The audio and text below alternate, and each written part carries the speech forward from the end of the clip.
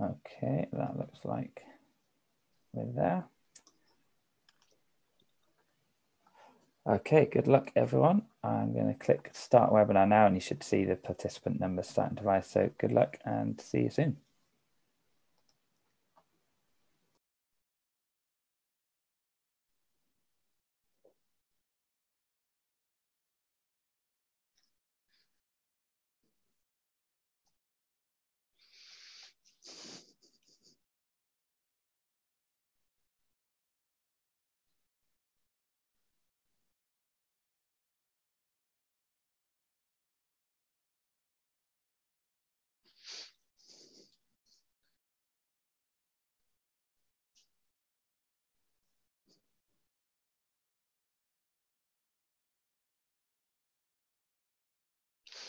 Good afternoon, everyone. We're just waiting for everyone to get accepted into the meeting.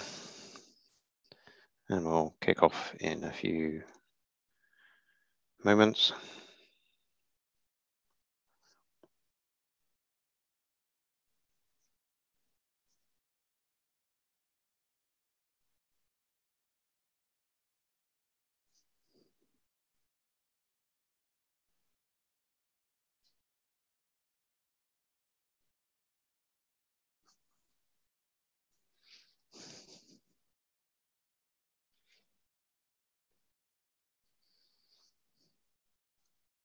I can't actually see how many of the attendees we have. Could someone who can tell me? Yeah, we're up to uh, 42 people here now. Okay, we'll kick off then. Um, good afternoon, everyone. Welcome to the latest in the webinar in the SPF UK Climate Resilience Programme. Um, my name's Simon Brown. I'm from the Met Office, and I'll be hosting today's event.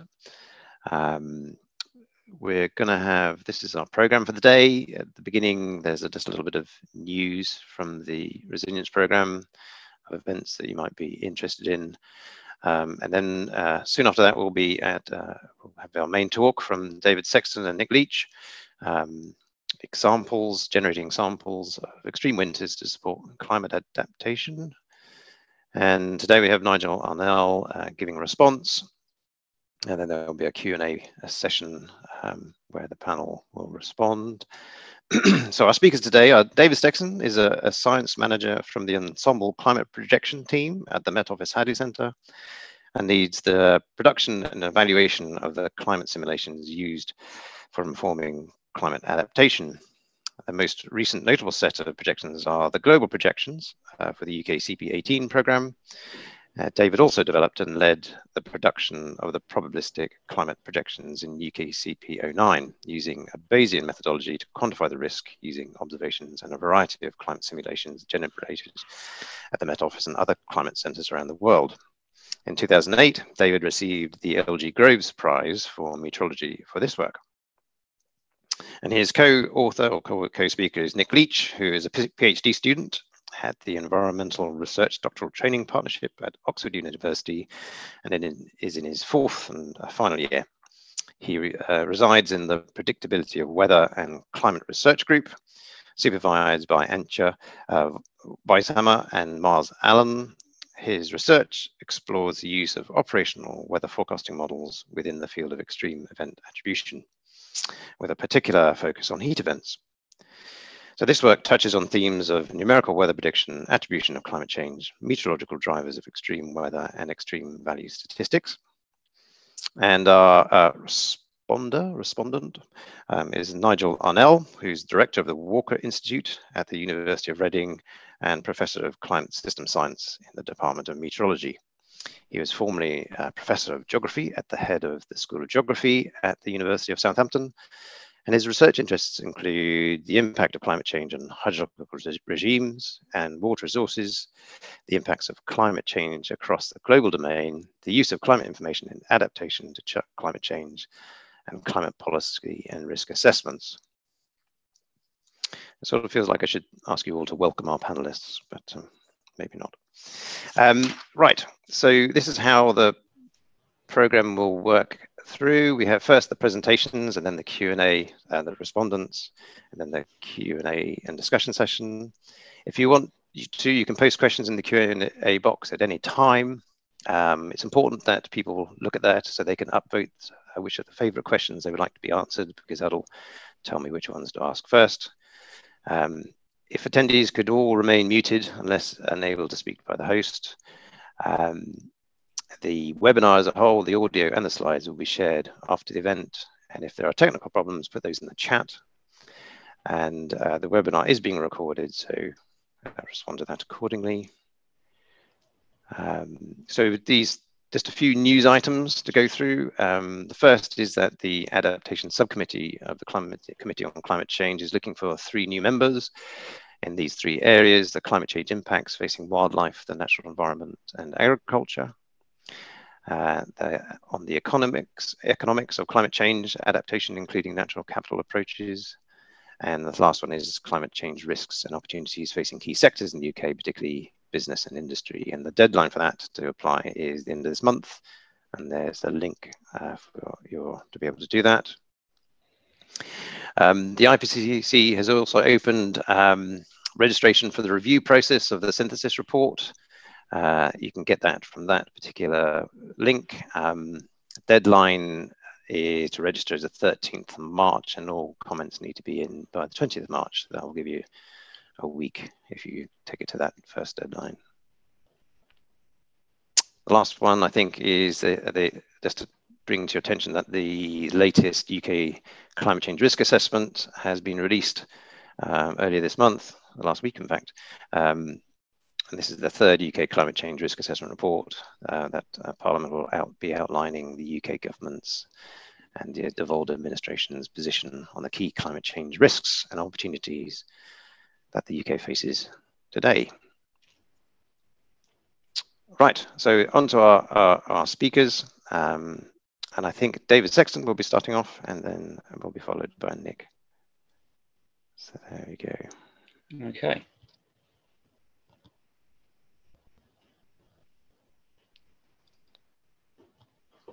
Ready? Okay, uh, thank you. Thank you for attending this webinar. Um, um, so the format today is that I will give a brief introduction as to the kind of background of the project, and then Nick will do a lot of the talking about the analysis, and then I'll come back in about the user guidance and where to get the data.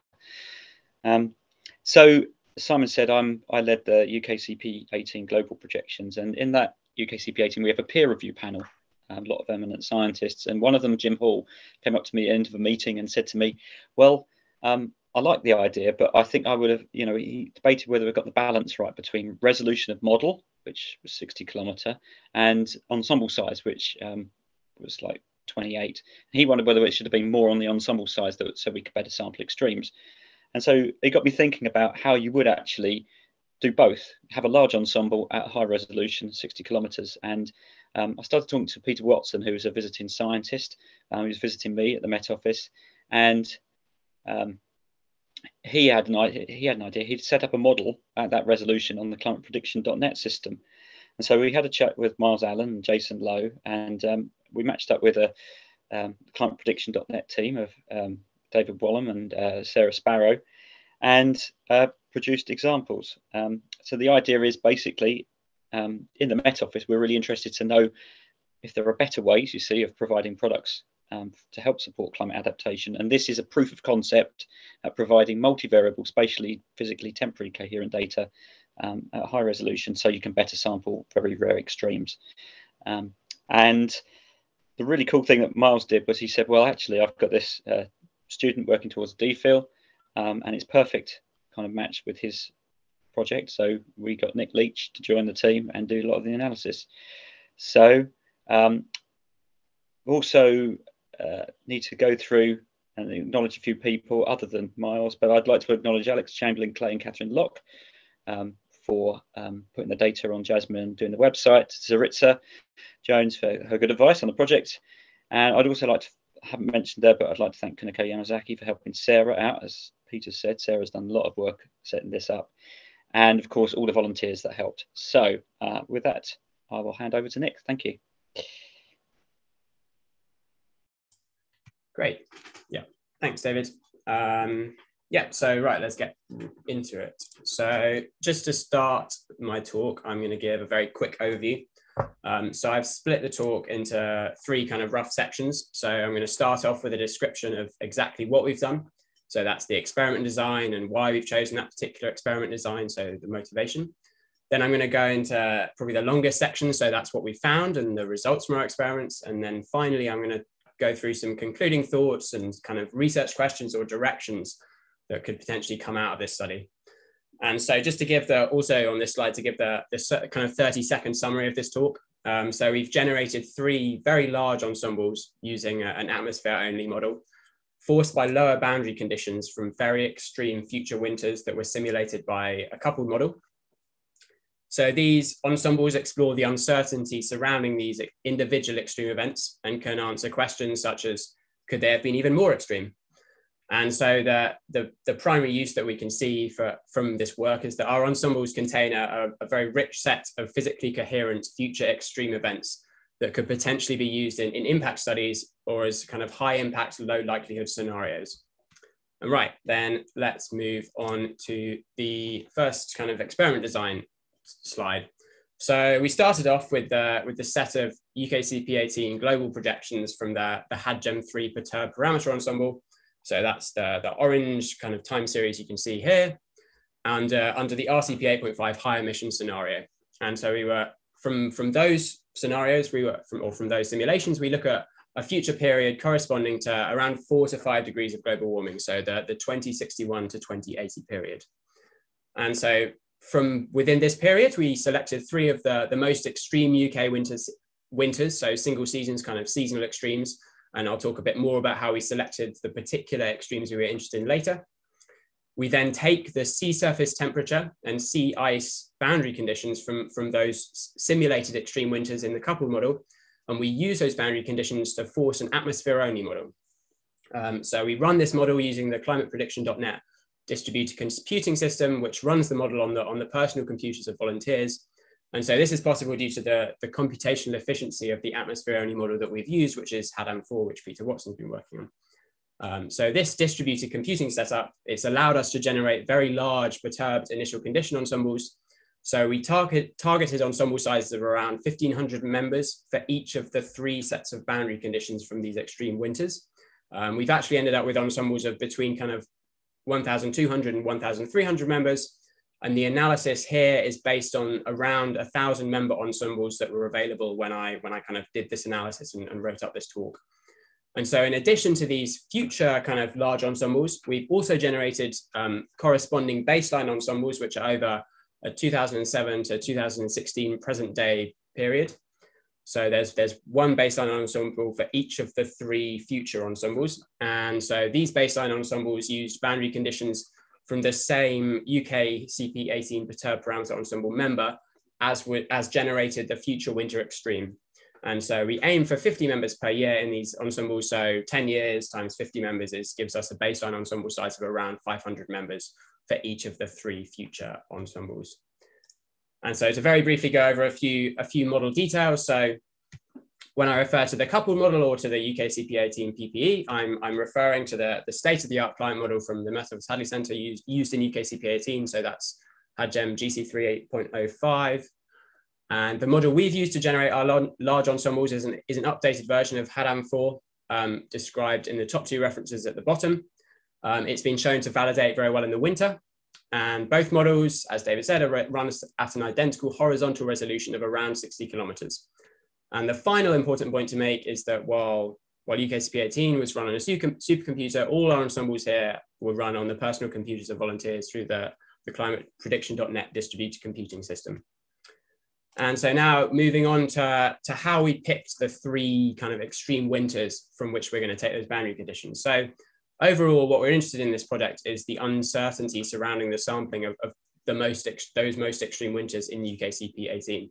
So for example, could these most extreme winters have been even higher or are they kind of as high as you could physically expect to get?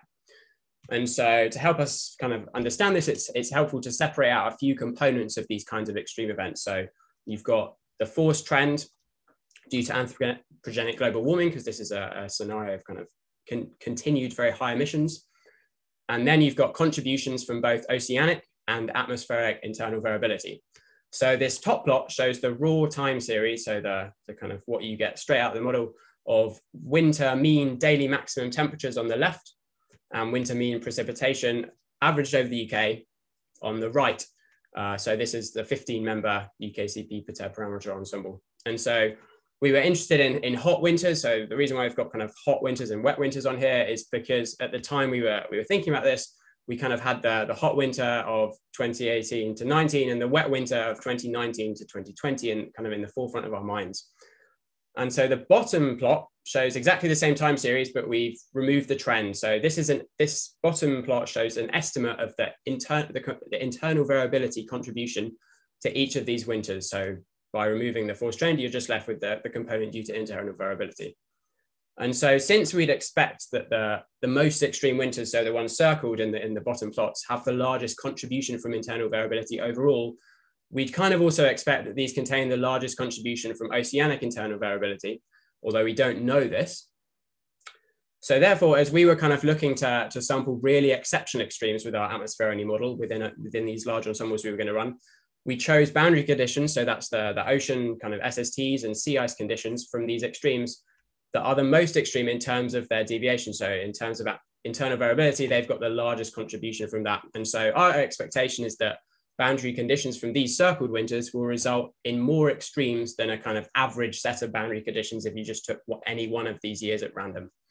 Um, so we aim to run three, three ensembles and so decided to run two ensembles using from hot extreme winters. So that's the orange circled one here and the pink circled one there and one ensemble from this particularly wet winter. Um, so these ensembles will, will, end up sampling the uncertainty surrounding these extremes, and it's specifically the, uncertainty that arises from atmospheric internal variability. And so we were interested in using these ensembles to answer questions such as how important is, is the model complexity? So is our atmosphere, is our kind of less, maybe less complex atmosphere only model able to simulate extre the extremes that the, that the coupled, the more complex coupled model was able to. Um, so how important was the influence of the sea surface temperatures and sea ice conditions for producing these particular extremes? So will our, will our ensembles be, be kind of conditioned towards producing more extremes than you just expect from, a, from any, any old kind of sea surface temperature or sea ice pattern? And the final question, which I've, I've said a couple of times, is could they have been even higher? And right now, moving on to another slide that I'm going to go over quite quickly. So this just shows information about the three winters that we've picked. So we have three future winters. These are the top ones here that correspond to those extreme winters that were circled in the previous slide. And we've got three corresponding baseline ensembles. And so from now on, I'm gonna, I'm gonna, when I talk about these winters, I'm gonna talk, use these abbreviations. So we've got hot one, hot two, wet, and then the same again, but with B at the end in the figures. And so just before I move on to kind of the results that we've got out of our experiment, I thought it would be interesting to talk a bit about what these, the three extremes that we've selected, what do they actually look like in terms of their kind of synoptic characteristics? So the first hot winter, so hot one, it is a, a kind of mo moderate positive NAO pattern, a zonal flow of the UK. Um, there is a strong El Nino present, which perhaps interestingly is canonically associated with fewer positive NAO events. And the sea ice, the Arctic sea ice is, is intact to some extent. Then if we move on to the hot, the second hot winter, it's a stronger positive NAO pattern.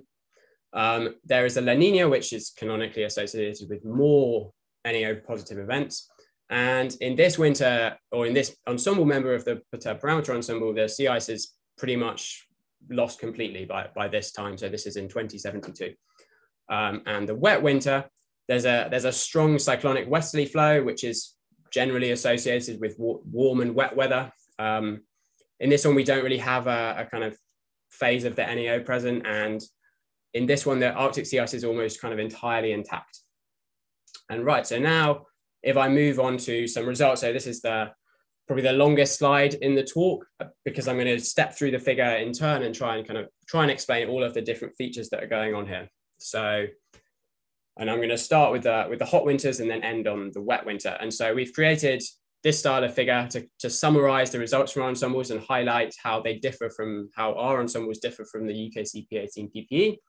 Um, there is a lot going on in this figure, but our, both of the other results figures are identical. So hopefully once I've kind of explained how this, what, what all the features in this one, you'll understand the other two.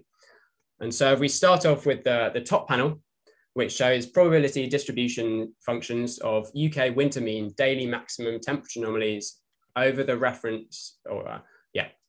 And so if we start with the, the two kind of future lines, so you've got the dark orange line that shows the PDF for the ensemble that we've generated.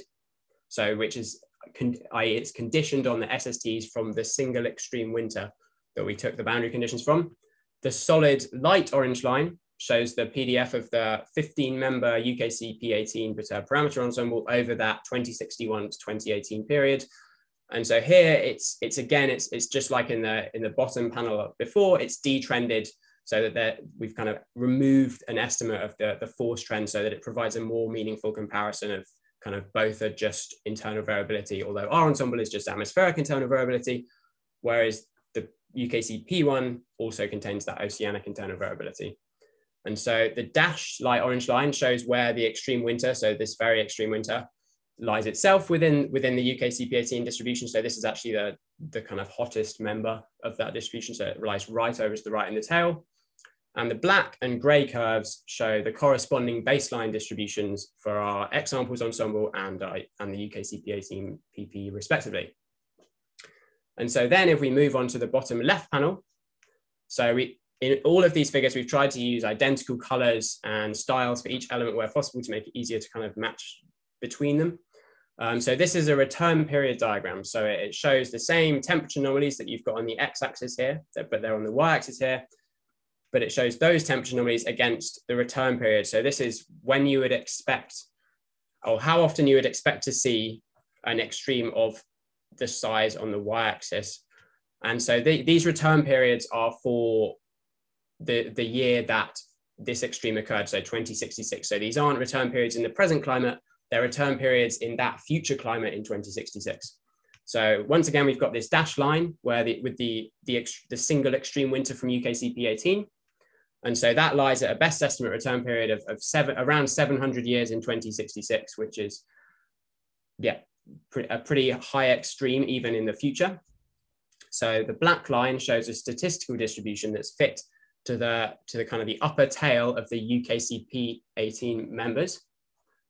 Um, and so this, this statistical fit uses extreme value theory, which is, is a method that we can use to provide information about the probability of extreme values based on data. And so the underlying data in this case is the UKCP 18 distribution. So you can see that that black line matches the, the light orange dots that are the UKCP18 samples pretty well. And so at this point, it's, it's, it's, kind of useful to, to point out that to compute these estimates of, of unconditioned risk, so these return periods, we need this UKCP18 distribution. Because our ensemble is conditioned on those SSTs, we can't kind of provide any, if we just had our ensemble, you wouldn't be able to say kind of what you wouldn't be able to provide a meaningful return period because it is conditioned on those specific sea surface temperatures that were used to run the model. And so finally, if we move on to the bottom right panel, so this is the probably the, the least kind of standard type of plot, but it should hopefully be clear with the context of the other two. So these curves are histograms of the number of ensemble members against the return period. So it's the same return period as, as was on the return period diagram. But so to, to kind of explain this, if you summed all of the bars to the to the the under this light orange line, if you summed all the bars to the right of this 10-year period, you'd find the number of ensemble members that have a return period of at least 10 years. And so the nice the, nice thing about this view of the ensembles is that it makes it very clear to see whether our ensembles are sampling more extreme events than would be expected, given how much larger our ensembles are than the the kind of 15 member by 20 years, so the 300 sample UKCP 18 ensemble. And to help this, you've got these gray straight lines which are which indicate the shape that uh, that's an unconditioned and kind of independently sampled ensemble of the size given by these gray values should follow. So basically, the UKCP 18 one, it's a 300 member sample and it follows that 300 line very nicely.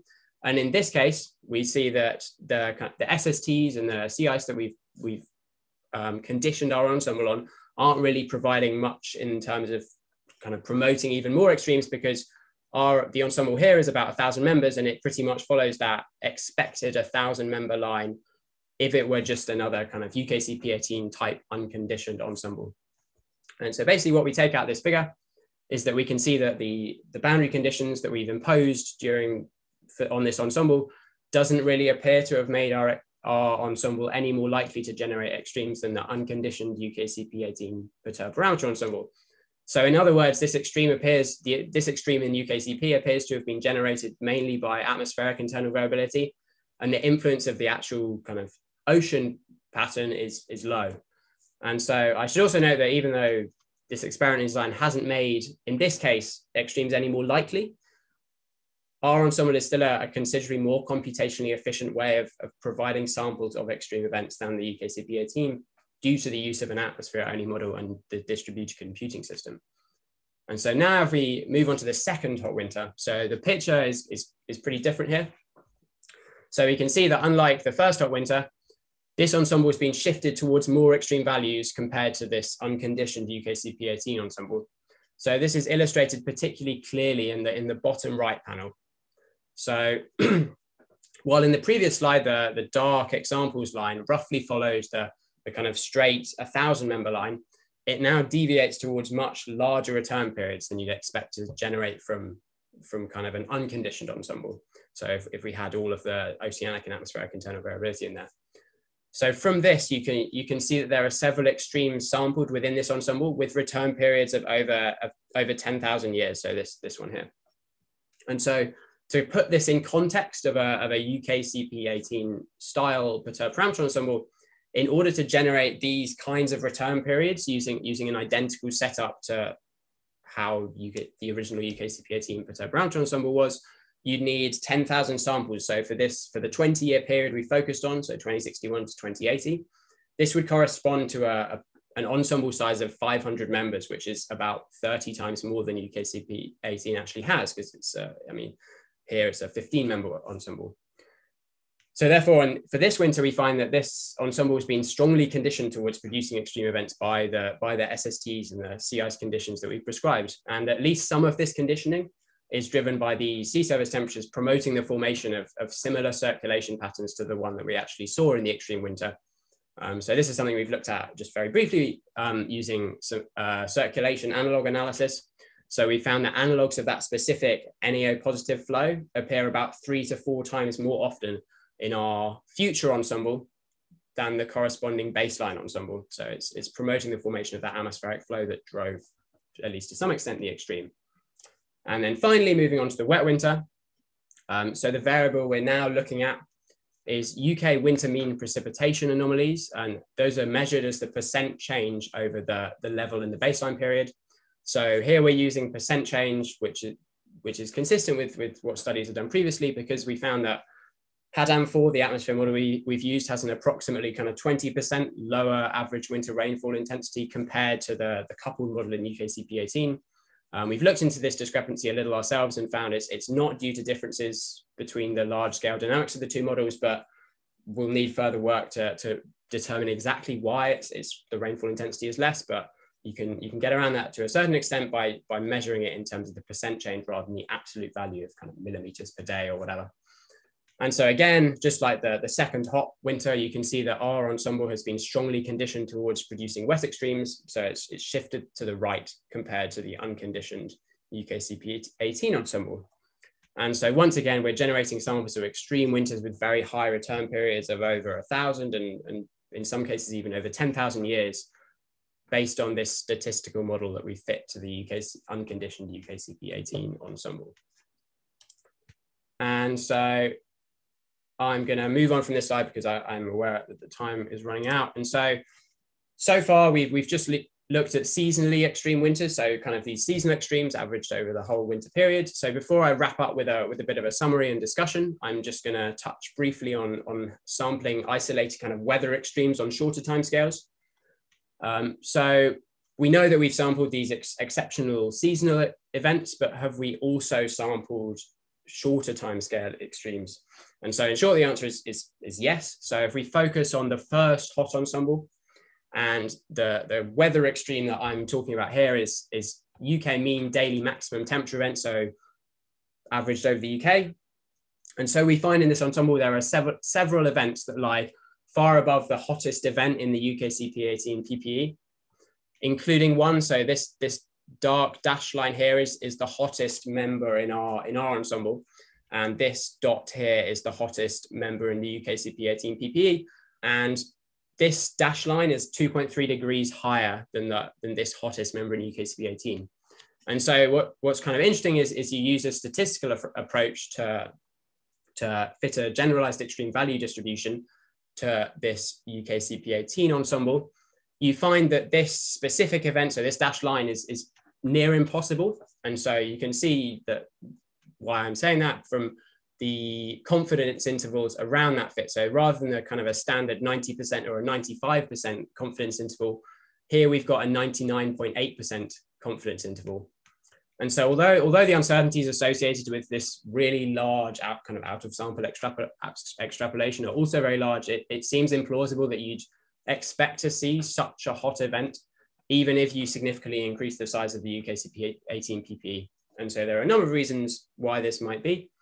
Um, I'm not sure I have time to go over in detail here, but another interesting feature is that from a, from a meteorological perspective, um, this particular sampled event is very kind of very similar in synoptic conditions to the extreme heat wave that we, we experienced in the UK at the end of February 2019.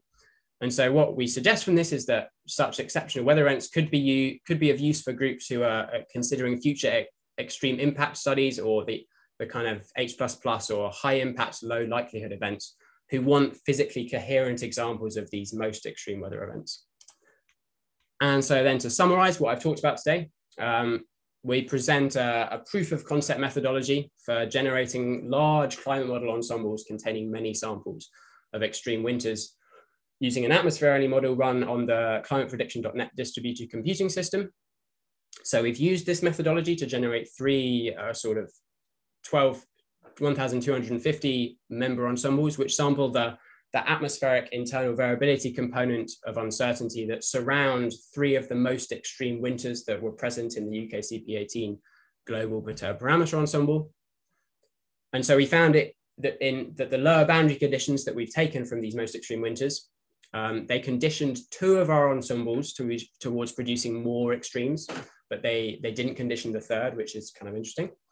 And so our ensembles, including the unconditioned ones, though that's to a lesser extent provide many samples of spatially, temporally, and physically coherent extremes. And so this is what we view as being kind of the key outcome or takeaway of this methodology. And so just to reiterate some of the numbers, we, we estimate that many of these extreme samples that we've got within our ensembles have return periods, which were estimated using the unconditioned UKCP18 PP of, of over a thousand years. So that, that just to uh, clarify those return periods are for that future period. They're not return periods in the present day. And so in some cases, these return periods are even over 10,000 years. And in order to expect such, such extremes to be generated with a, a UK CP18 style ensemble that we've looked at here, you would need around 500 members, which is, is kind of beyond anything that could be done. And so finally, on to, on to discuss this, this work a little bit and sort of potential uses and where we see this work progressing from here. Um, so to start off with the, with the potential use cases, um, we, in, we sort of envisage that our ensembles could be used in studies looking into the impacts associated with the types of weather extreme that I've discussed today, so kind of hot events and wet events, and potentially others, because um, they, just because I focused on hot events, it doesn't mean that it's only hot extremes that are present within the ensemble. Um, and so in particular studies that require either very large ensembles or who are interested in exceptionally high extremes, uh, might be interested in our ensembles due to the, the rich set of physically coherent extremes sampled within them. And so on a related note, another application would be for users interested in the kind of worst case limit, limits to adaptation scenario. So again, your, your H++ plus or high impact, low likelihood scenarios and, and associated impacts. Um, so as demonstrated in this talk, we've sampled a number of events that, that lie beyond even the most extreme events in that UKCP18 global parameter ensemble. And our final immediate use case would be to, to, to support other work that has been done regarding extreme events and that might be done regarding extreme events, such as, such as validating or complementing statistical methodologies for, for constructing these kind of limits, limiting extremes. And finally, moving on to the research questions and directions that have come out of this study. So one, one fundamental question that we have following this analysis is why two of the ensembles were conditioned towards extreme and the other wasn't.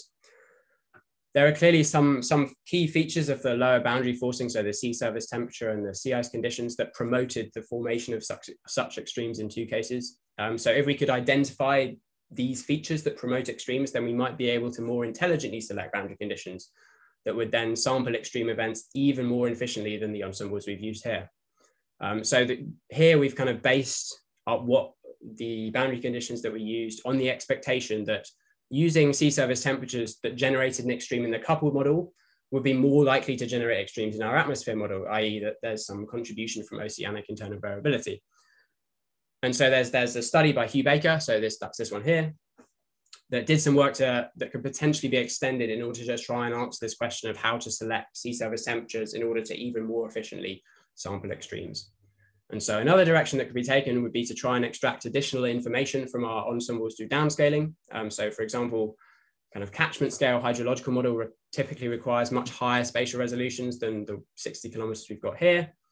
And so statistical downscaling of, of the available model output could potentially provide such information. And so since we've, we've shown that the HADAM4 dynamics appear consistent with the state of the art HADGEM3 model, and also given winter precipitations are precipitation events are generally driven by large scale processes, this kind of statistical downscaling could well be appropriate. And if suitable model output were stored in the future, it might also be possible to drive high resolution regional convection permitting models, such as already done in UKCP 18, but with a potentially much larger ensemble or for specific extreme samples that were that are present in our ensembles. And finally, thanks, thanks very much for listening. And if you're interested in, in reading about this in a bit more detail, um, although we're currently revising the paper, you can read the original submission, which is available as, a preprint and linked to by this QR code. So, and now I'm going to hand back to David. Hi, thanks, Nick. Great. So I'm going to quickly go through how you might access the data. So first of all, Nick's mentioned his paper is in revision, um, but there's also a second paper which Sarah Sparrow is uh, preparing. Um, the data is actually um, put on, it's already on JASMIN. At, at these, uh, these are the path names. There's uh, two data sets. There's the one which is the full data set for the UK and the North Atlantic European sectors, but there's also a smaller set which is just a thousand members, which is for the UK only, and that's the one that Nick used in his paper. So if you want to do some comparison results to check you're doing the right kind of things, that's available. Uh, long term, we hope to put, put this on CEDA. Um, there's also a document on user guidance, which has got some useful advice on making anomalies and um, explaining things like why there's different number of members in the different ensembles for the different winters. Um, very much treat the data as exploratory at the moment until um, one of those papers has been published. And if you go next slide, please. So as again, it's a large number of physically, spatially, temporally, multiple variable examples of future extreme winters. We think it's ideal for kind of impacts that hit multiple sectors as well as single impact studies. Uh, they're very high return level periods because of this condition that Nick's explained. Notice they're not 2.2 kilometer resolution, so we haven't got all the, the full detail of you know, precipitation changes you might expect in uh, Lizzie Kendon's kind of UKCP local projections that, um, that, that, made. Um, we, we recommend using percentage precipitation change in this study. And um, as I said before, it's right at the start, it's a proof of concept, um, but we, Met Office would really value uh, some feedback actually from anybody who tries it out to see how useful it actually is. Um, because if it actually made a product on it, it would need a little bit more develop in terms of uh, the different types of models we use and how we run it. Um, but thank you very much for listening.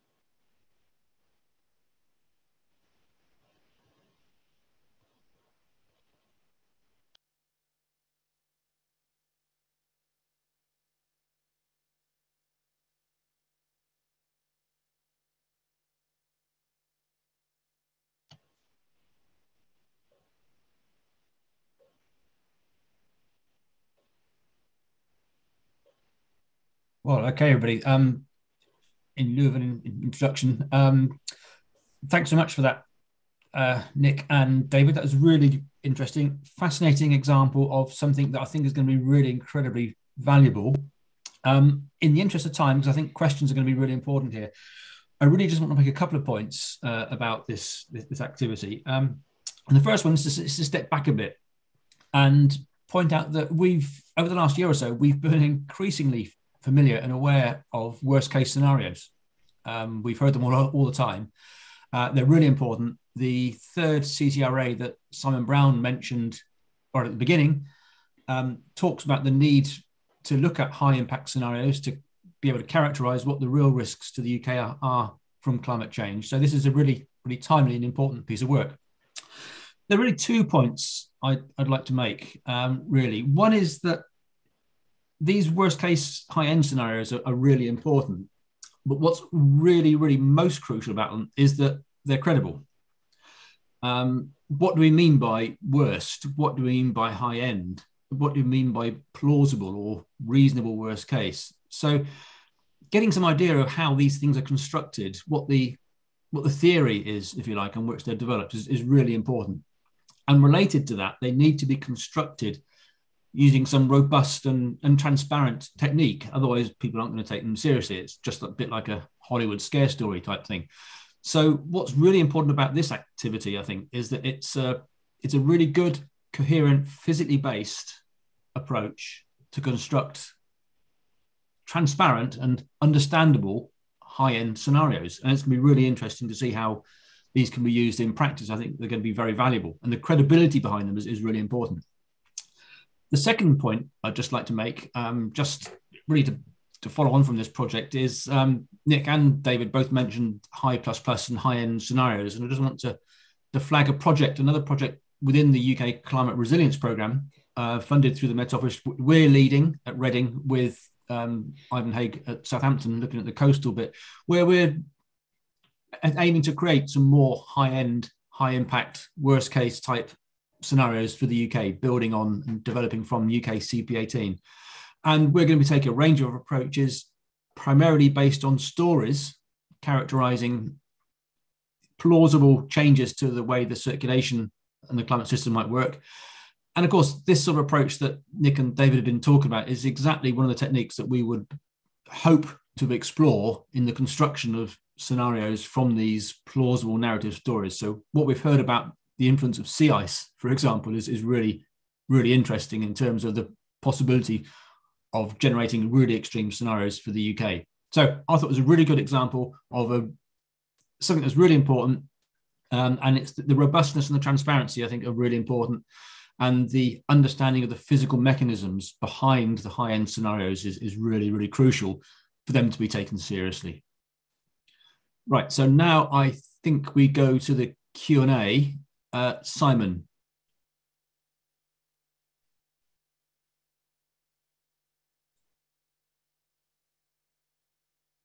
I think we may have lost Simon.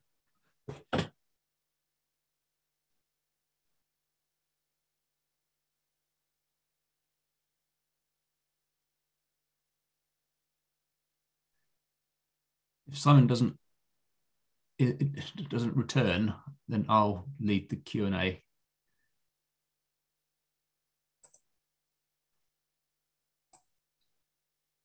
Okay, right. So, um, while Simon's getting back to connection, um, question from Pete Falloon is fantastic work. Is it possible to repeat this for cold and dry winters? Um, and would the method add value to existing data sets? So, moving beyond warm and wet to cold and dry? Would it work for those sort of conditions? I do not. Uh, yes, we could use it for cold and dry. We have to be careful. Um, I think we'll work for winters. Um, we, we consider doing summers as well, but HADAM 4 doesn't validate as well for uh, in summer as it does in winter. So that's the kind of main determining factor. Um, but yes, I think it would add value, and I think it would, along the lines that Nigel um, I'm very grateful to the kind of words that Nigel just said, but those kind of um, that value you would get you would get from these data sets. Can I add a qualifier there as, as well, an extra question as well? Um, would it work for summer, hot and dry summers? As I said, I, I think the in principle the method definitely yeah. could. Um, I'm not sure whether HADAM four um, would be capable of doing it yet. I mean, I think people have touched on the processes, and I think it's really important to make sure that you've got the kind of right processes represented in the model to create those extremes. Um, so, absolutely, um, that is a, a, kind of prior check. And I think we need to better understand actually in general our models and what we use to represent extremes and how well we capture the processes that were actually um, important in reality when they created those extremes like the the two that uh, Nick mentioned um, in February 2020 and February 2019. So that plays to the understanding the physical processes and mechanisms which generate these events. And if the models, as we at the moment don't do it, then we can't use that approach. So that, that's a yeah, that's a really good point. Um, related to that, it's a question from James Murphy, which is to what extent does the use of the different atmospheric model complicate the interpretation of the comparison with UK CP18? So I go for that one again. Uh, okay. Well, to what extent then, does the use of a different atmosphere model complicate the interpretation of the comparison yep. the UK CP18? You, are not using the UK CP18 model; you're using the HADAM version. Absolutely. Does that make a difference? Basically, I think is. Uh, yes, it will do. I'll, let Nick answer in a minute um, on the details. Uh, but yes, this is a very much a proof of concept. This was about seeing whether the method to kind of subsample winters and generate um, you know find a way to generate using models sort of plausible um, credible patterns of climate change across multiple variables so that people could um, put it into impact studies. But yes the actual details would um, is important. I don't know people wouldn't have noticed but there there was for example different vertical resolutions in the two models and that is important for connecting up the stratosphere to the troposphere. Now um, you would have heard a lot about polar vortices and polar vortex affecting often our winter circulation. So one way um, with the, the resolution we have in UKCP18, we capture those processes, um, less so I think in this kind of model with this reduced vertical resolution. But actually this model does very well at capturing the, the circulation types. But if we were to do this as a product, I think we'd absolutely want to uh, think really hard about trying to make um, we, ideally, we do it with the same kind of model that we used to build UK CP18. Um, but the problem is there's no way we haven't got the resource to run as many of the ensemble members as we had. So we'd have to think really carefully about how we're doing that, how what the effectiveness of that compromise we're making with HADAM4. But we're using the wonderful kind of climateprediction.net tool and all those thankful to all those citizen scientists out there. Okay, Nick, Nick, did you want to add anything to that? Um, I could, I guess, I could briefly touch on what we kind of did do to, to check that the models aren't behaving in completely different different ways. So we, we did kind of check that the baseline ensembles were consistent with one another. So we, I mean, that we didn't find any statistically significant differences in over that baseline period between the two models. Now, I mean, that doesn't mean they're they're identical. And there's definitely definitely one thing that we we kind of ha- I guess can't answer because we've only got these single winter ensembles is we can't say that the forced response is going to be identical. But I think like like David said said it is kind of just a proof of concept and we've done what we can to, to make sure the models aren't behaving in completely different ways. But of, there is more that could be done to, to kind of validate validate that it's not just because one uh, the HADAM4 model is behaving completely differently. Okay, there's thanks. There's, there's another model related question before we start talking about some of the process related questions that come up. Um, and it's a question from Jim Hall. Um, and his question is critiques of SST forced atmosphere only models complain about the neglect of atmosphere ocean feedbacks. Does this bother you in this setup? So essentially, it's I think it's to do with the definition of the initial conditions and how far back in time you go. And yeah, is that a major constraint here? Um, I can have a go at that. So there is uh, definitely some studies out there. I think of Battisti and Barsugli, um, in particular, which show that um, it's the, the two-way feedbacks are important um, for capturing certain aspects of the variability. Um, does it bother me? No, um, it doesn't actually. At the moment, I think what I think what we're doing here is actually um, capturing a lot of the processes. I don't think those couple processes in this particular case will be um, first order. I think it, I have confidence because um, a lot of the the circulation patterns um, that we reproduce in the ensemble are, and the, the ones that actually produce the extremes are actually um, pretty similar to the ones that produce extremes in uh, the real world. Um, but it, it's a good point, and again, it goes back to process evaluation. You know, if we could evaluate those processes and the extent of which coupling actually matters. I think that will be add value and therefore add credibility. Okay, great. Thanks, David. Um, there's move on to some of the process questions now, and there's one from Timothy Lamb, um, which is well, he said great work. Um, the idea that El Nino associated warm winters are mainly driven by atmospheric processes, while La Nina associated warm winters are driven by SSTs and sea ice, is interesting. Have you looked into the existing drivers, whether it works in a similar way at present, or is this a consequence of a warming climate? So it plays to the process points that you mentioned in the talk. Do you want me to go? Yeah, you go for it. Okay. Uh, yeah, so I, would say that we we've done, I guess I'd say we've we've done pretty limited work on the actual behind that. I think so far and in the paper we've kind of noted that it that this is an interesting feature that's come out is that that La Nina winter kind of did promote more of uh, positive events, which is kind of what you'd expect canonically. But I think with these on, or at least we've we've recommended in the paper with these ensembles that there's a there's a limitation to what you can do because we have only got like one we've got one specific La Nina rather than a like lots of different La Ninas and it is kind it would be kind of hard to really I guess dig down into whether that is what is I mean pretty yeah if you carry on Dave. No you're doing well. Um I was just going to add that actually I was quite surprised by this result. Um and you know there's a lot of good work done by our seasonal forecasters around the world really to show that El Nino um, can have an effect on winter, and there is predictability in winter. I I do wonder the fact that if we I, don't I can't remember the extent to which a stratospheric tropospheric process is important in that response to El Nino. Um, but these are the kind of things we looking we could look into. But um, yes, um, it, it, it was nice to have both cases where internal variability dominated the response compared to one where actually um, the oceanic state actually really did condition and create the, the extreme. Good, thanks. Um, the next couple of questions are similar and they're essentially about reliability and statistics. Um, so, so, no problems there then. Um, another question from, from, from Jim is interesting to see that the record shattering instances of physically plausible plausible events are outside the confidence intervals for the GEV fit, does this suggest that the asymptotic assumptions of GV are not consistent with your physical understanding? And there's a question from uh, earlier on, I've lost it from the list now, about how you can characterize the reliability of your results. So uh, to do with the statistics of it.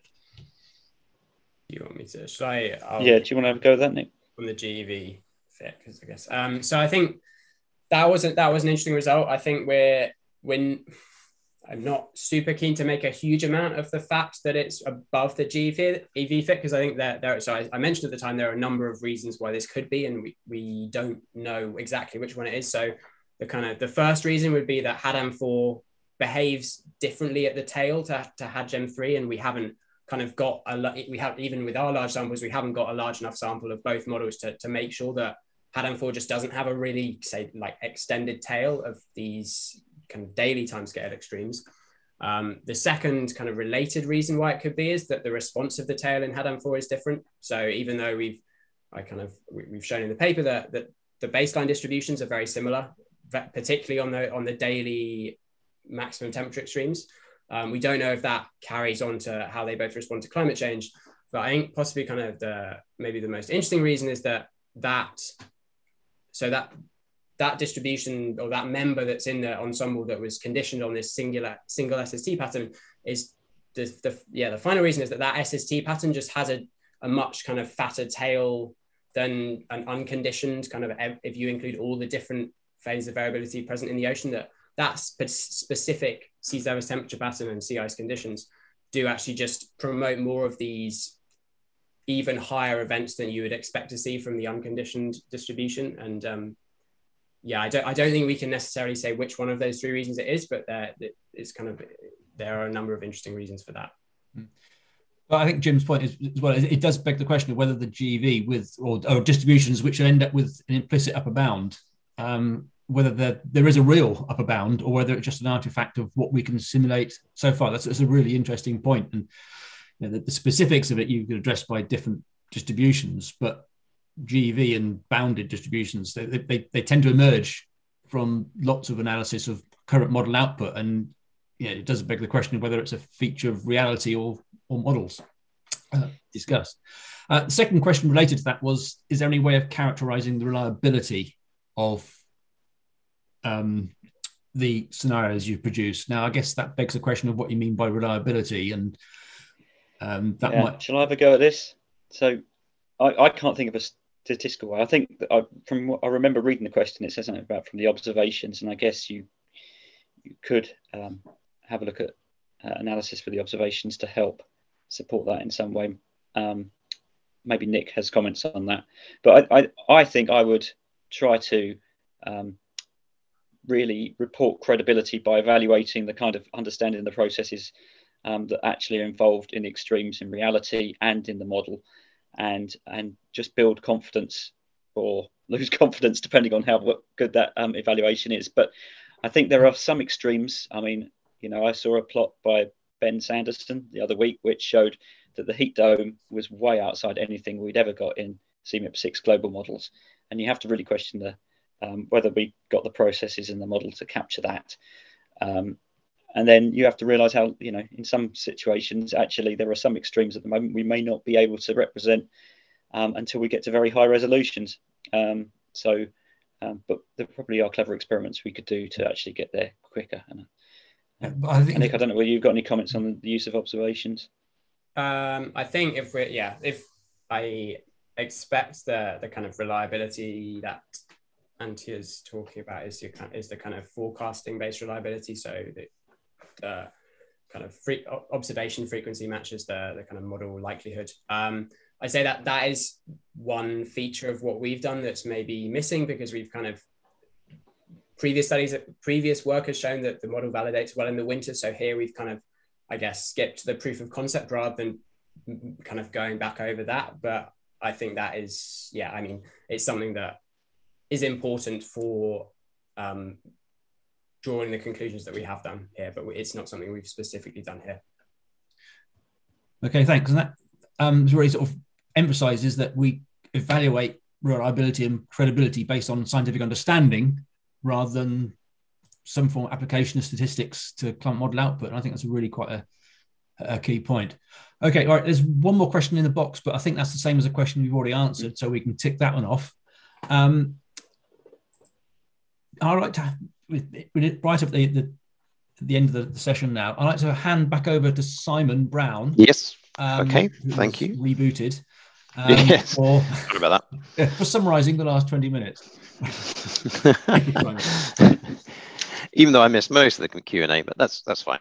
Um, I think that's been really interesting uh, uh, uh, hour or so, um, showing some very new ideas and new possibilities of using um, our modeling data and how that relates to um, assessing risk from these events that are, are very rare. Um, uh, I hope it's been helpful for all those uh, who've tuned in. Um, and I think we probably will see a lot more work in this sort of area where we look at um, uh, events that are generated within the modeled world, which seem to be at the very limit or even beyond what we've seen in the observed world, and trying to understand how much we should focus on those events and how much how do we try and validate those things that we've never seen before and gain trust in them. Um, so this is really interesting in that in that debate. Um, thank you for the questions. Thank you for the answers. Thank you for the speakers. Um, I think there is just a few tidying up um, events uh, slides. Um, yes, promoting the next uh, webinars in the series. There, there are two planned jointly um, in March, the beginning of March.